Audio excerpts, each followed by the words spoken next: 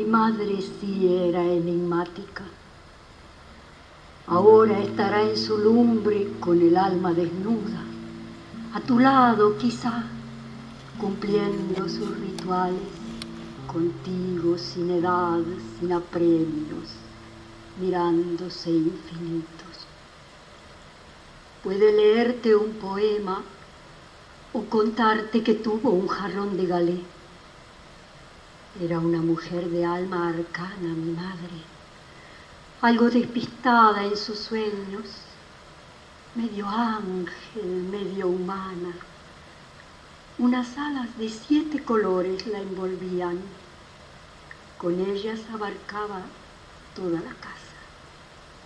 Las paredes, los muebles, los ropajes, cada cuchara, cada aguja pasaban por sus manos, moldeaba el aire para nosotros, lo hervía, lo colaba, lo cernía para nosotros, lo recortaba a veces en forma de cruz.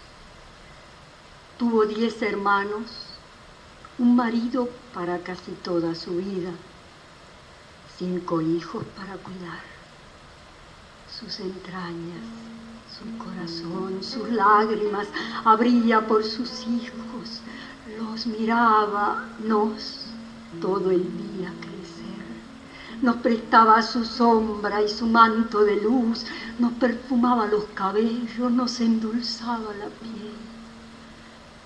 Vivía enraizada en el trono del hogar. Estaba ahí, presente día y noche, las cuatro estaciones, traduciendo el mundo para sus crías. Colocaba consejos y panes, cepillaba los gatos, acariciaba los crisantemos y juntaba dalias para el centro de la mesa.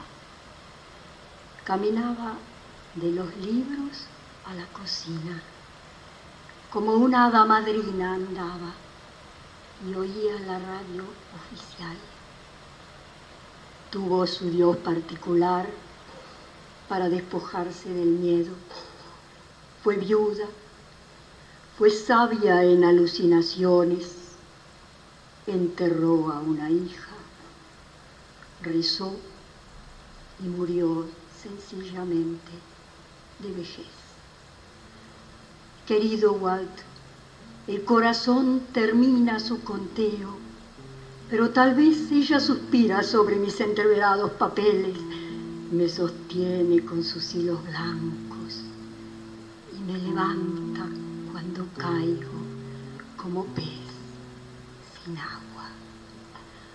Acompáñala despacísimo.